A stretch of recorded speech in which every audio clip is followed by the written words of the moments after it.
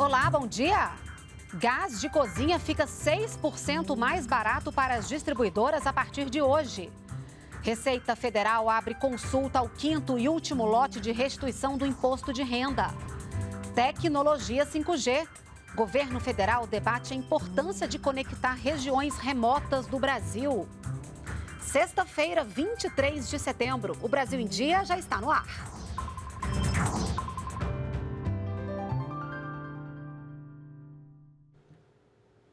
São 8 horas da manhã, estamos ao vivo também pelas redes sociais. A Petrobras anunciou nova redução no preço de venda do gás de cozinha para as distribuidoras. Vamos ao Rio de Janeiro conversar com Priscila Terezo. Ela tem ao vivo os detalhes para gente. Priscila, bom dia. Bom dia,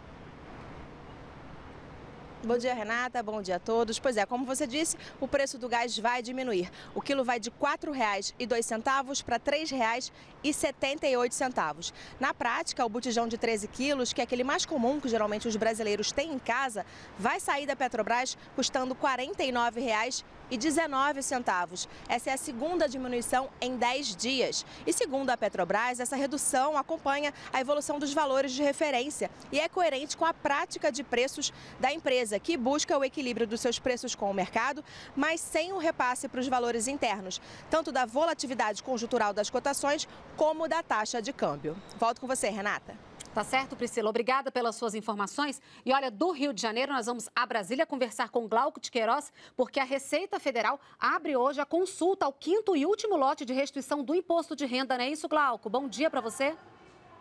Olá, Renata, bom dia para você, bom dia a todos. É isso, né? Cerca de 1 milhão né, e 200 mil contribuintes serão contemplados neste lote. Né? O valor total do crédito é de 1 bilhão e 900 mil reais. Né? E um pouco mais de 221 milhões de reais serão pagos né, a pessoas que fazem parte de grupos prioritários, né, como idosos, professores e pessoas com deficiência. Para saber se a restituição está disponível, basta acessar o site da Receita Federal a partir das 10 horas da manhã. Só consulta também pode ser feita por meio de aplicativo para dispositivos móveis. Né? Já o pagamento ele será feito na sexta-feira da semana que vem, dia 30 de setembro, diretamente na conta bancária informada na hora da declaração. Né? Lembrando que este é o último lote né, de restituições do exercício 2022, dentre aqueles que não apresentaram inconsistência. Né? Segundo a Receita Federal, né, neste ano, um pouco mais de um milhão de declarações ficaram retidas na malha fina. Né? O número representa 2,7% do total de declarações e o principal motivo foi a omissão de rendimentos. Renata, eu volto com você. Tá certo, Glauco. Muito obrigada pelas suas informações. E olha, vai ser paga hoje a parcela de setembro do Auxílio Brasil aos beneficiários com número de inscrição social UNIS final 5. Esta é a segunda parcela com o valor mínimo de 600 reais, que vai até dezembro. Quem recebe o Auxílio Brasil pode consultar as datas de pagamento, o valor do benefício e as parcelas nos aplicativos do Auxílio Brasil e do Caixa Tem. O Ministério da Economia prevê um saldo positivo nas contas públicas em 2022. É o primeiro superávit primário dos últimos oito anos. Um novo bloqueio do orçamento deste ano para o cumprimento do teto de gastos também foi anunciado. O governo federal prevê para este ano um superávit primário de 13 bilhões e 500 milhões de reais. É o primeiro resultado no azul desde 2013. O valor é quase 73 bilhões de reais superior à avaliação anterior, que previa déficit de 59 bilhões e 300 milhões de reais. Segundo o relatório de avaliação de receitas e despesas primárias do quarto bimestre, aumentaram os parâmetros do produto interno bruto real de 2% para 2,7% entre o terceiro e o quarto bimestres. Já o IPCA acumulado caiu de 7,2% para 6,3%. Apesar dos números positivos, o Ministério da Economia revisou os indicadores econômicos e anunciou a necessidade de um bloqueio adicional no orçamento deste ano no valor de 2 bilhões e 600 milhões de reais para o cumprimento do teto de gastos, regra que atrela o crescimento das despesas à inflação do ano anterior. Com isso, serão bloqueados 10 bilhões e 500 milhões de reais em despesas, contra um bloqueio de 7 bilhões e 900 milhões de reais anunciados na projeção anterior. O orçamento ele é uma peça viva porque eu tenho que atender o dia a dia dos ministérios, eu tenho que atender políticas discricionárias que são feitas pelos ministérios e, obviamente, eu vou ter que ter o cuidado de chegar, chegando ao final do exercício, eu estar observando o teto do gasto, as metas fiscais, enfim, todo esse cuidado ele é feito.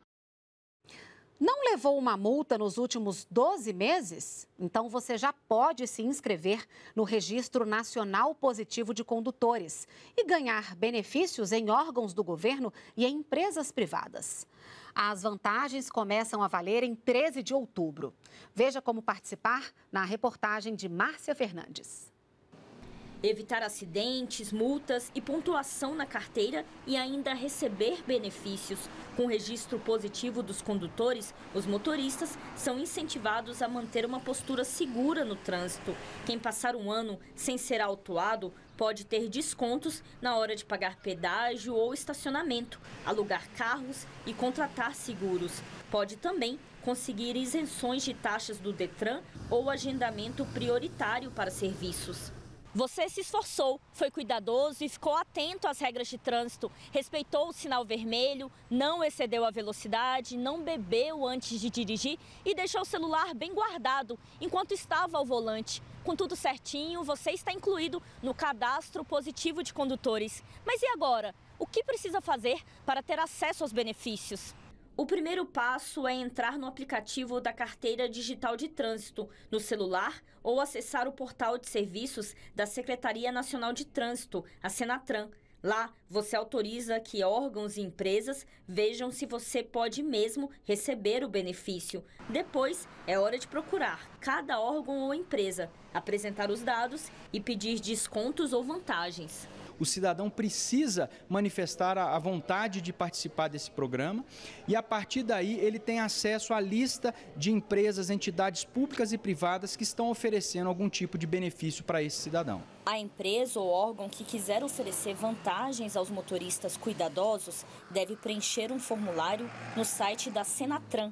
E não precisa ser apenas empresas e órgãos ligados ao trânsito.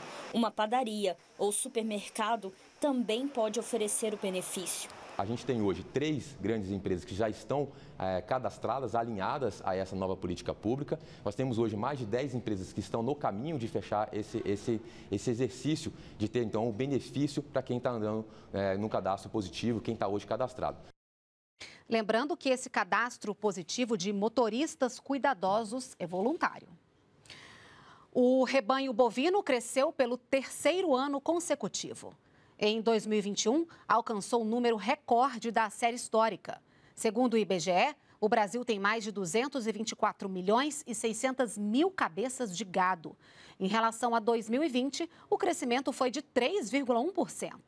Mato Grosso se manteve líder nacional com 32 milhões e 400 mil animais, 14,4% do rebanho nacional, seguido por Goiás com 10,8%.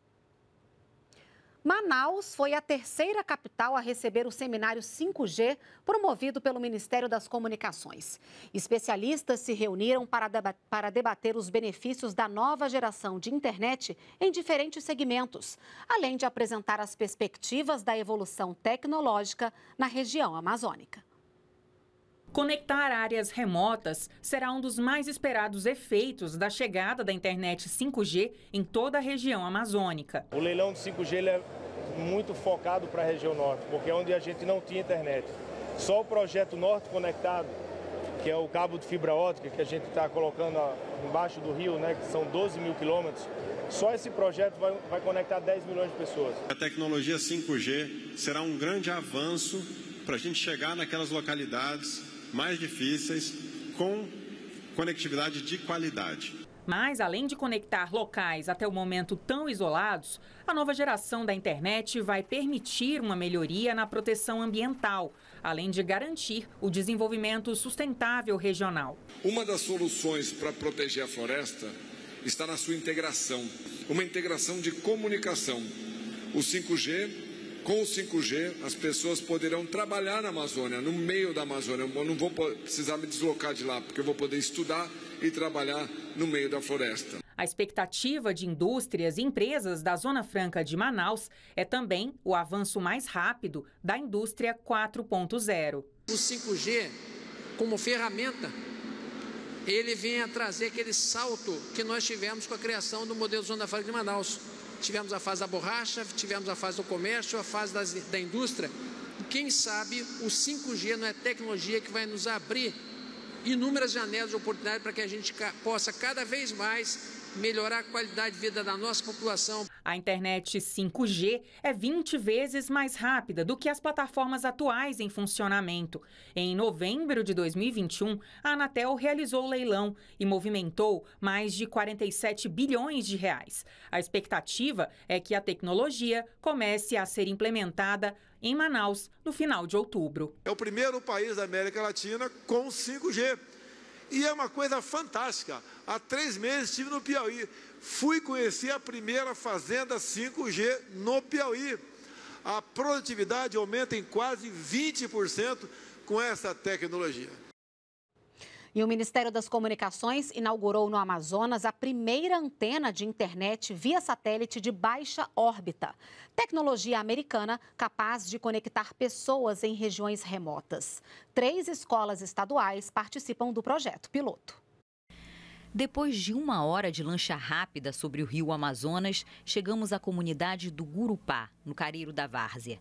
O caminho de tábuas leva à escola Antônio Ferreira Guedes, um prédio construído na imensidão da várzea amazônica para receber crianças e jovens que chegam a percorrer até três horas de barco diariamente para estudar. Foi um dia especial para eles. O ministro das Comunicações visitou o colégio para inaugurar o sistema Starlink, tecnologia que leva internet de qualidade para locais onde as operadoras convencionais não conseguem chegar. Foi uma doação da Starlink, né? Eles fizeram o gateway lá em Manaus, que é a porta de entrada, e fizeram uma doação para três escolas para fazer o teste.